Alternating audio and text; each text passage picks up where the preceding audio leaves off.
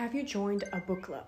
Making friends as an adult can can be tough because there's not as many opportunities for friendships to develop spontaneously.